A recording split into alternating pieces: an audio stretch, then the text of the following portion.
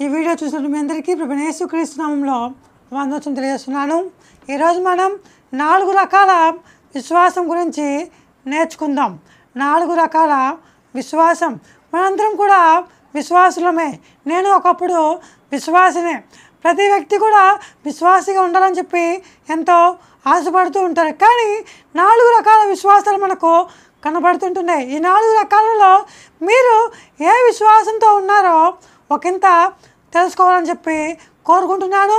మొట్టమొదటిగా అందరూ నమ్ముకున్నారు కాబట్టి నేను నమ్ముకున్నాను అనేటువంటి విశ్వాసం అన్నమాట.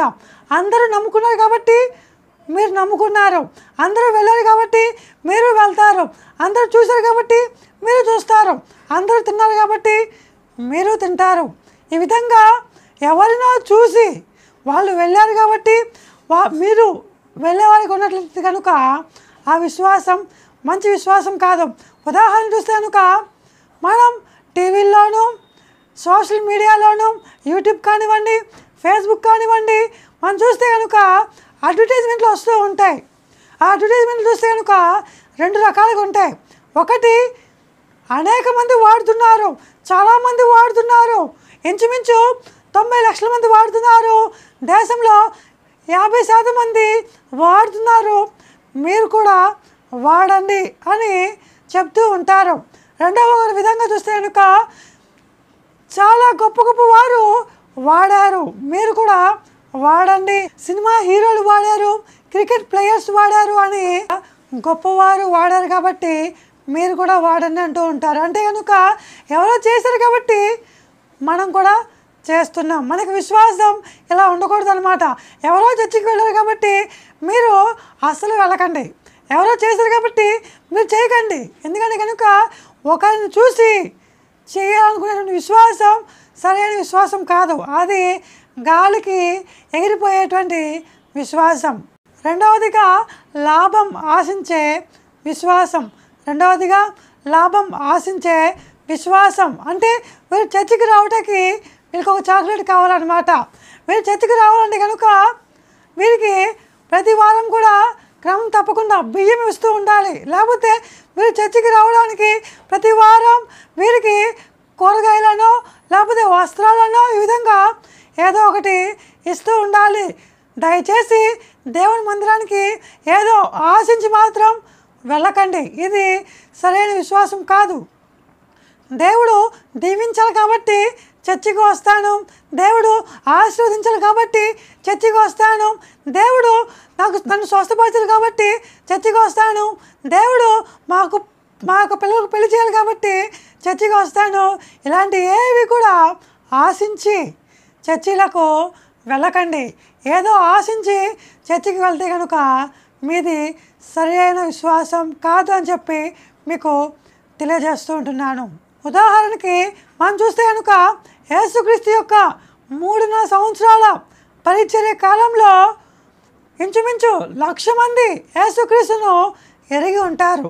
యేసుక్రీస్తు అద్భుతాలు చేస్తున్నాడని యేసుక్రీస్తు సహాయాలు చేస్తాడని యేసుక్రీస్తు స్వస్థపరుస్తాడని యేసుక్రీస్తు గురించి కనీసం ఒక లక్ష మందికి తెలిసే ఉంటుంది. కానీ ఆయన కోసం నిలబడింది మాత్రం కేవలం మేడగదిలో ఉన్నటువంటి నూట ఇరవై మంది మాత్రమే. అలా నువ్వు ఏదో ఆశించి వస్తే కనుక నువ్వు దేవుని ప దేవుని పక్షాన నిలబడలేవు. కాబట్టి ఈ యొక్క విశ్వాసం సరైన విశ్వాసం కాదు. ఈ విశ్వాసం మీకు ఉన్నట్లయితే కనుక దయచేసి మారు మనసు పొందండి. మూడవదిగా పిరికితనపు విశ్వాసం.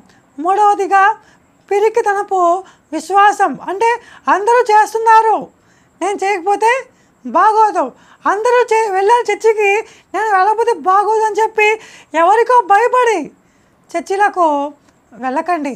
చర్చికి మీరు ఎవరికో భయపడి వెళ్తున్నట్లేదు కనుక ఆ భయపడే మీరు ఎవరికైతే భయపడుతున్నారో ఆ వ్యక్తి లేకపోతే కనుక మీరు చర్చికి వెళ్ళరన్నమాట. దయచేసి మీ యొక్క విశ్వాసం భయపడే విధంగా ఉండకూడదని చెప్పి మీకు తెలియజేస్తుంటున్నాను. పేతురు కూడా భయపడ్డాడు కాబట్టి మూడుసార్లు అబద్ధం ఆడాడు. ఎందుకు భయపడాలి? అనేటువంటి ఆ యొక్క ఆలోచన పేదరు ఉన్న ఉంటే కనుక పేదరు అబద్ధం ఆడేవాడు కాదు. మీరు కూడా ఎవరికో భయపడి మందిరాలకు వెళ్తున్నట్లయితే కనుక దయచేసి అలా వెళ్ళకండి అలా వెళ్తే కనుక అది మీకు ఆత్మీయ స్థితికి క్షేమకరం కాదనమాట మీకు విశ్వాసం ఎవరికి భయపడి పిరికితనపు విశ్వాసంగా ఉండటానికి వీల్లేదని చెప్పి తెలియజేస్తూ ఉంటున్నాను. ఇంకా నాలుగవదిగా యథార్థమైనటువంటి విశ్వాసం. నాలుగవదిగా యథార్థమైనటువంటి విశ్వాసం. ఇది దేవుణ్ణి రుచి చూచి తెలుసుకున్న వారికి ఉన్నటువంటి విశ్వాసం. దేవుణ్ణి రుచి చూచి ఎరిగిన వారి వారికి ఉన్నటువంటి విశ్వాసం అనమాట వీరికి ఇంకా చింత లేదనమాట ఎటువంటి శ్రమలు వచ్చినా వీరు దిగులు పడరు. ఎవరు చెప్పినా కూడా వీరు సోలిపోరు అనమాట వీరు దృఢ నిశ్చేత కలిగి ఉంటూ ఉంటారు. ఇది ధైర్య సాహసాలు కలిగినటువంటి విశ్వాసం అనమాట యథార్థమైనటువంటి విశ్వాసం ధైర్య సాహసాలు కలిగినటువంటి విశ్వాసం. దేవుడు మమ్మల్ని కాపాడినా దేవునికి స్తోత్రం. మమ్మల్ని కాపాడకపోయినా దేవునికి స్తోత్రం. ఎంత పెద్ద శ్రమలు వచ్చినా భయపడక నేను జయించగలను అనేటువంటి విశ్వాసం. నిజమే ఐగిప్తు మిమ్మలను వేధించవచ్చు ఎర్ర సముద్రం మిమ్మలను అడ్డగించవచ్చు అరణ్య మిమ్మలను అన్నీ మీకు ఏమీ లేకుండా ఉక్కిరి బిక్కిరి చేస్తుండవచ్చు.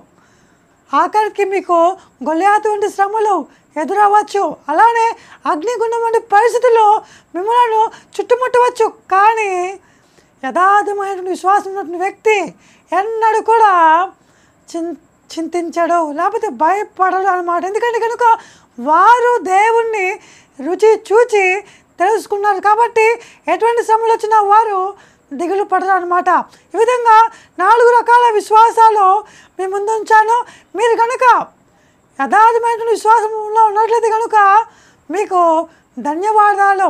మిమ్మల్ని గురించి ఎంతో దేవుణ్ణి మహింపరుస్తున్నాను. అలానే అందరూ కూడా యథార్థమైన విశ్వాసం కలిగి ఉండాలని చెప్పి ఆశిస్తున్నాను. అటువంటి ధన్యత అటువంటి యథార్థమైనటువంటి విశ్వాసం ధైర్య సాహసాలు కలిగినటువంటి విశ్వాసం దేవుడు మనకందరికీ దయచేయాలని కోరుకుంటున్నాను. దేవుడు మిమ్మలను దీవించును కాక ప్రైజ్ ద